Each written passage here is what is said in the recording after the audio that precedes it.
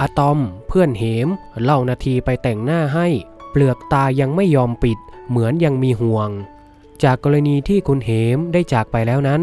ล่าสุดนะครับ เพื่อนสนิทของคุณเหมได้เล่านาทีที่มาแต่งหน้าให้กับร่างไร้วิญญาณของเพื่อนรัก เหมนั้นเปลือกตายังไม่ปิดด้วยซ้ำ เหมือนยังมีห่วง โดยอะตอม เพื่อนสนิทเหม ได้โพสต์ข้อความระบุว่า น้องชาย เหมอันเดอร์สกอร์ ppd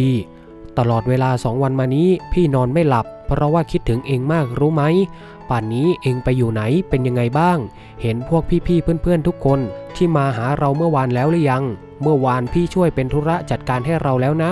ตั้งใจไว้แล้วว่าถ้าพี่เจอเรา เราต้องโสมแน่ๆเลย พี่เตรียมแว็กใส่ผม หวี แป้งพับ ติดไปแล้ว แต่งหน้าให้ ลือกตาขวาที่เปิดอยู่ พี่ปิดให้สนิทเรียบร้อย พี่แอนดรู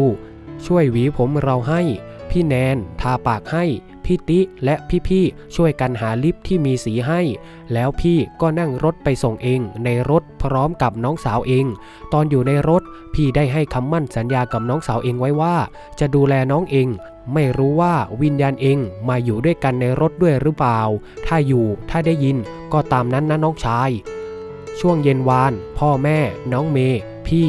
และพี่ๆน้องที่รักเอง พากันเดินทางไปจากวัด เพื่อไปคอนโดไปนำทางพาเองมาที่วัด ป่านนี้อยู่แถววัดแล้วใช่ไหมเหม สิ่งที่เองทำมันเป็นอีกเหตุการณ์ที่มันสะเทือนใจ คนใจแข็งแบบพี่เป็นอย่างมาก มันอ่อนแอจนเบลอไปหลายช่วงวัน คืนแรกพี่นอนไปชั่วโมงเดียวเอง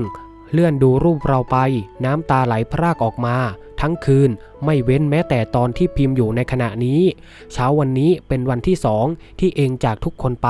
พี่มีโอกาสสะดุ้งตื่นมาทำบุญใส่บาตรกรวดน้ำอุทิศบุญให้แล้วนะ มาร่วมอนุโมทนากับพี่นะ ไม่ต้องห่วงอะไรนะ วันนี้เจอกันที่วัดนะ น้องชาย รักมึงมากเหม